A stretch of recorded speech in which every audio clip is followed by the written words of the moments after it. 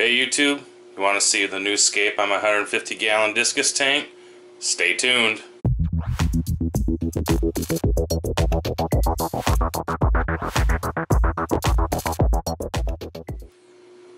Alright YouTube, Brian here again, just coming at you.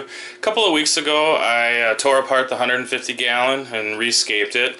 Um, didn't really want to do a video until things started, um, till plants stopped melting and you know some stuff started growing in a little better and I got some more plants and yada yada yada, whatever. But anyway, I thought I thought it was time to show everybody. Um, some things are still looking a little bit scraggly and stuff like that but overall I'm pretty happy with it and the direction it's going. Um, need a few more things, uh, obviously, um, but let me explain to you kind of how I've set it up here. Got some Dragonstone again um, from uh, Dave at ADU Aquascaping, Dave Guitarfish. Looks awesome, especially this piece right here. I just love this piece. Um, and uh, so I kind of wanted to do that style of escape, kind of like what I had done on my 90, which right now is pretty overgrown. It needs a trim. But that's another story. Um, one thing I wanted to do was try dwarf hair, hair grass this time.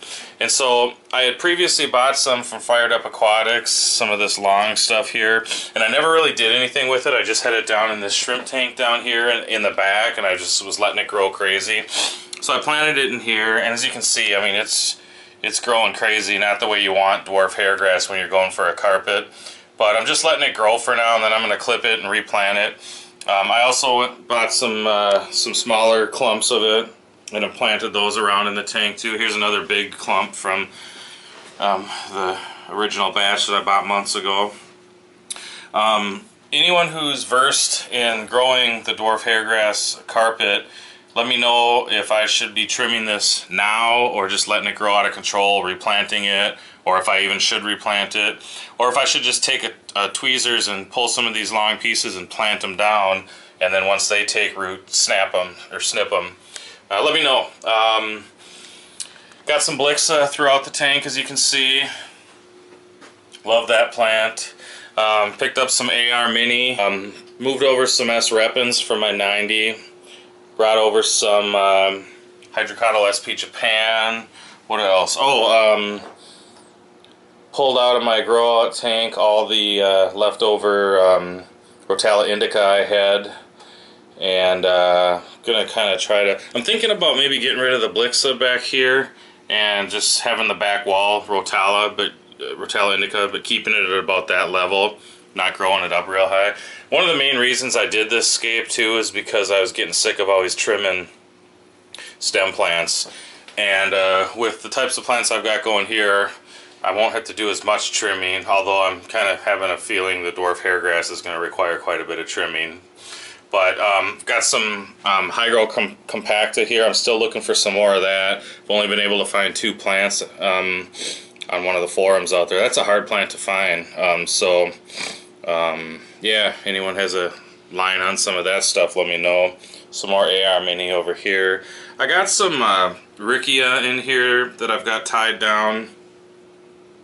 And uh, I'm thinking I'm going to get rid of it. The problem I've been having with Riccia moss lately is it looks real good. You tie it to a rock or something and it grows. And then when it starts to grow to a point, it always ends up finding its way loose no matter how good I tie it down and uh, and then it floats up and then you've got little pieces all over the place and I'm just not digging that one as much as I thought I might but we'll see. Who knows? And then oh yeah the uh, Pogostemon erectus right here Pogo erectus.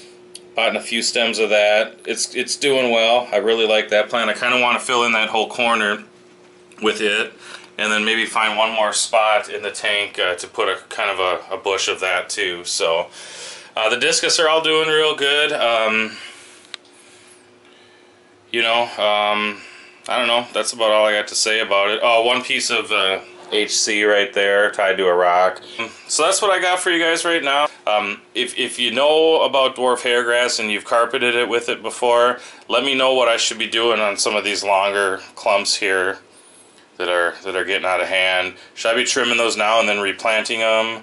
You know, because they have kind of that little seed where it divides off. what should I be doing? Just let me know so I can get the fastest and, and, and, and coolest growth as far as the carpeting goes. Make sure you go subscribe to all the members of Team Aquatic Support. I'll put their links below. Go over to Aquatic Support Systems and uh, like their Facebook page. A lot of good stuff going on over there. Big things going to be happening this year. Um, and uh, yeah, check out all the links below and thanks for watching. Later.